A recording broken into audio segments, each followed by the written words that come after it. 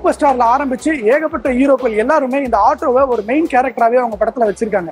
பிரசவத்துக்கு இலவசம் அப்படின்னு போட ஆரம்பிச்சு ரொம்ப சாமானிய மக்களுக்கு ரொம்ப உறுதுணையா இருக்கிற ஒரு வாகனம் எதுன்னா அது வந்து ஆட்டோ தான். ஆனா இந்த ஆட்டோ ஓட்டுறவங்களும் சரி இதை பயன்படுத்துறவங்களும் சரி இதை வச்சு பிசினஸ் பண்றவங்களும் சரி எந்த அளவுக்கு இதை வந்து நடத்துறாங்க அப்படிங்கறத தான் இந்த வீடியோல நம்ம பார்க்க போறோம்.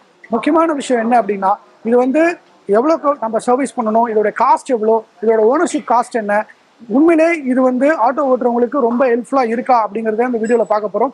இதுக்காக நாம வந்து ஒரு சர்வீஸ் சென்டருக்கு வந்திருக்கோம். சர்வீஸ் சென்டரோட ஓனரை வந்து நம்ம பார்த்து அவரோட நிறைய டிஸ்கஸ் பண்ண போறோம். வாங்க போயிட்டு முழுசா பார்ப்போம். இப்போ நம்மளோட இருக்காரு பச்சை பண்ணனா. அண்ணா வணக்கம். வணக்கம். ஆனா இந்த பிசினஸ் வந்து எத்தனை வருஷமா நீங்க பண்ணிட்டு இருக்கீங்க?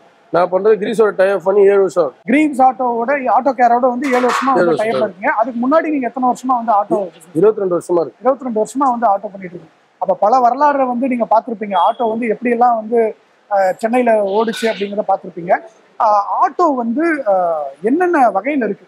அதை பத்தி கொஞ்சம் சொல்லுங்க ஆட்டோ பார்த்தீங்கன்னா Bajaj TVS capacity BS six two stroke four stroke okay. இப்போ சென்சார் டைப் பிஎஸ் சிக்ஸ் எல்லாம் வந்துச்சு. இப்போ எலக்ட்ரிக் வெஹிக்கிளும் வந்துருச்சு. வந்துருச்சு. ஓகே ஒரு ஒரு ஆட்டோ டிரைவர் வந்து எவ்வளவு நான் சம்பாதிப்பாங்க? ஒரு ஒரு மாசம். ஆட்டோடன்னு பார்த்தீங்கன்னா அவர் எதோ நல்லா நல்லா ஓட்டணும் கஷ்டப்படுறோம்னு பார்த்தீங்கன்னா ஆயிரம் ரூபாயிலேருந்து ரெண்டாயிரம் வரைக்கும் சம்பாதிக்கும். ஒரு நாளைக்கு. ஒரு நாளைக்கு. ஒரு நாளைக்கு. இப்போ கிரீன்ஸ் ஆட்டோ கேர் உங்களுக்கு வந்து எந்த அளவுக்கு உறுதுணையா இருக்காங்க? இது எப்படி வந்து நடக்குது? கிரீஸ் ஆட்டோக்கு டைப் ஃபுட் தான். அதுலேருந்து பிஸ்னஸ் நல்லா தான் பண்ணுது. சப்போர்ட் வந்து நல்லா சப்போர்ட் பண்ணுறாங்க ஸ்பேர்ஸ் என்ன நமக்கு கிரீஸோட ஸ்பேர் எதனா கிடைக்கணும் கூட உடனே அரேஞ்ச் பண்ணி கிரீஸோட மூலியமா எங்க ஸ்பேர் கிடையோ டக்குன்னு அரேஞ்ச் பண்ணி எனக்கு பண்ணி கொடுத்துருவோம் ஆனா நம்ம இப்போ ஒரு கார் வாங்குறோம் அப்படின்னா காரை வந்து சர்வீஸ் சென்டர்ல சர்வீஸ் பண்ணிப்போம். அதே மாதிரி ஒரு ஆட்டோ வந்து ஒருத்தர் ஒரு கம்பெனில இருந்து வாங்குறாருன்னு வச்சுக்கோங்களேன். அது வந்து அந்த கம்பெனியே சர்வீஸ் பண்ணி தருமா? இல்ல இந்த மாதிரி வந்து பிரைவேட்டா தான் வந்து அவங்க சர்வீஸ் பண்ணிக்கணுமா? அது வந்து எப்படி நடக்குது? அதை பத்தி கொஞ்சம் சொல்லுங்களேன். கார்ன்றது பார்த்தீங்கன்னா ஓன் போர்டு நம்மளோட தேவைக்கு தான் கார் ஓட்டுறாங்க ஆனால் ஆட்டோ அப்படி பார்த்தீங்கன்னா அதான் அவங்களோட பிஸ்னஸ் அந்த பிஸ்னஸ்ன்னு நினைக்கும் போது அவங்க வந்து கம்பெனியில் போனால் ஒரு நாலு நாள் அஞ்சு நாள் ஆகணுமோ? இது மாதிரி தனியாக கிரீஸ் கார் யார் சீக்கிரமா பண்ணி தராங்களோ உடனே பண்ணி தர போயிட்டு அவங்க பண்றவங்க பண்ணிடுவாங்க. பண்ணிப்பாங்க. ஓகே அப்படி நீங்க பண்ணும்போது எவ்வளவு நாள்ல நீங்க வந்து பண்ணி தருவீங்க? ஒரு ஆட்டோ சர்வீஸ் பண்ண எவ்வளவு நேரம் ஆகும்? ஆட்டோ சர்வீஸ் பண்ணா ஒரு ஹாஃப் அன் முக்கால் மணி நேரம் தான் ஹாஃப் அன் ஹவர் முக்கால் மணி நேரம். ஒரு ஆட்டோ உள்ள வந்ததுன்னா உடனே பண்ணி முடிச்சு அனுப்பிச்சிருவீங்க. ஓகே எவ்வளவு காஸ்ட் ஆகும் ஒரு ஆட்டோ சர்வீஸ் ஆகும்? ஆட்டோ சர்வீஸ் பண்ணா நான் ஒரு ஓய்வு போயிடணும்னா ஒரு ஆயிரத்தி இரநூறுவா வரும்.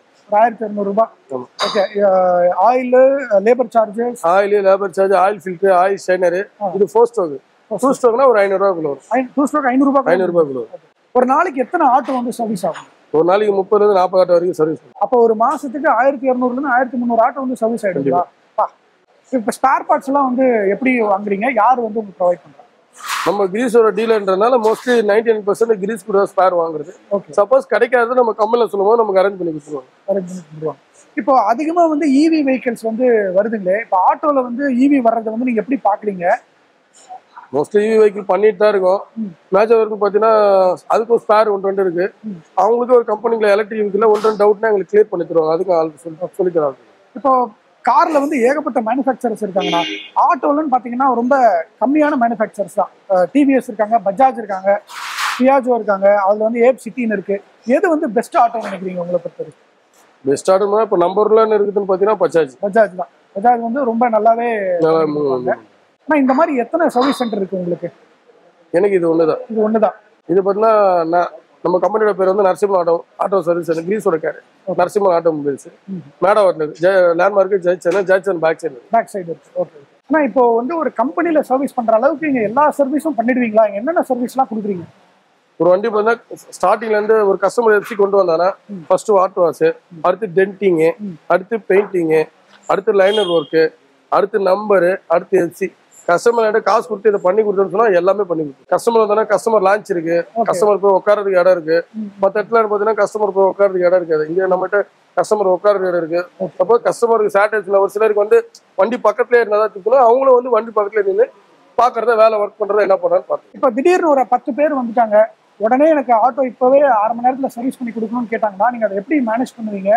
இல்ல அது- அதுக்கு ஏதாவது ஒரு மெத்தட் இருக்கா? பத் பத்து வண்டி ஒரே டைம்ல வந்துச்சுன்னா கிரீஸ் கார் மூலியமா என்ன- எனக்கு சப்போர்ட் பண்ண கிரீஸ் கார் மூலியமா எனக்கு கால் பண்ணாங்கன்னா சார் இது மாதிரி நான் பத்து வண்டி உடனே வரப்போறேன்னு சொன்னாங்கன்னா பண்ணிக்கலாம். அதுக்கான வேலைகள் நடந்துட்டு இருக்கு. எனக்கு ஒரு ஸ்பேர் ஒரு ஒரு லேட்டஸ்ட் ஒன்று வந்துச்சு. சென்சார் டைப் கிடைக்கலாம் அந்த மாதிரிலாம் அரேஞ்ச் இப்போ லேட்டஸ்ட் பார்த்தீங்கன்னா சென்சார் டைப் தான் எல்லாமே. அதுக்கான எனக்கு போட்டு சென்சார் டா ஒரு டாங்கல் சொல்லுவாங்க.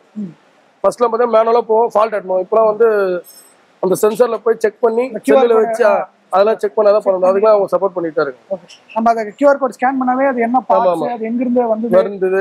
எங்க கம்ப்ளைண்ட்ன்ற மாதிரிலாம் பண்ணிடுவோம். ஆனா இப்போ ஆட்டோல வந்து மாடிஃபிகேஷன்லாம் பண்ணுவாங்களா? உங்க வீட்டை வந்து இதை மாடிஃபை பண்ணுங்க அதை மாடிஃபை பண்ணுங்க அப்படின்னு பண்ணுவாங்க. ஒரு சிலர் பண்ணுவாங்க? ரொம்ப லைக்லாம் பண்ண மாட்டாங்க. ஓகே மாடி இது நார்மல் இந்த கஸ்டமர் பார்த்தா அலாவில் தான் வேணும்னு கேட்டிருக்காரு. அவருக்கு அலாவில் போட்டு கொடுத்துருக்கோம். பாய்லரு கஸ்டமர் என்ன கேக்குறாங்களோ இப்போ இது வந்து நார்மல் ஆட்டோ அவர் மேல வந்து கண்ணாடி மாதிரி கேட்டிருக்காரு.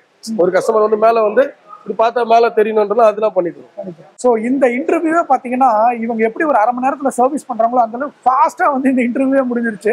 கேட்குற கேள்விக்கெல்லாம் டக்கு டக்கு டக்கு டக்குன்னு ஃபாஸ்ட்டாக பதில் சொன்னார். நாங்கள் அந்த பேசிக்கிட்டு இருக்கும்போதே ஒரு மூணு ஆட்டோ சர்வீஸ் பண்ணி வெளியவே போயிடுச்சு. அந்தளவுக்கு ஃபாஸ்ட்டாக வந்து சர்வீஸ் பண்ணிக்கிட்டு இருக்காங்க. நான் இமேஜினே பண்ணல.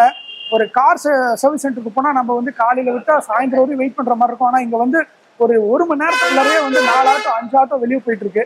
அந்த அளவுக்கு ரொம்ப ஸ்பீடா இருக்காங்க. ஏன்னா ஆட்டோ ஓட்டினா தான் சம்பாதிக்க முடியும் அப்படிங்கிற ஒரு விஷயம் இருக்கிறதுனால ஒரு நாளைக்கு ஆயிரம் ரூபாய் சம்பாதிக்கணும்னா அவங்க ஒரு நாள் ஃபுல்லா ஓட்டணும். அதுக்காக அந்த ஆட்டோ வந்து ரொம்ப தயாரா இருக்கணும்.